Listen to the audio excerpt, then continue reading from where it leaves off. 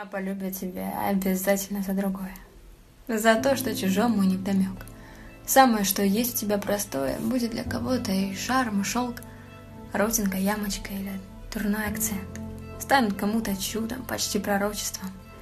То, что ты не видел так много лет. Кого-то спасает от серого одиночества. И полюбят тебя обязательно не за то, не за то, над чем ты все время стараешься. Но как ты ходишь, как снимаешь пальто, может, как плачешь, но скорее, как улыбаешься.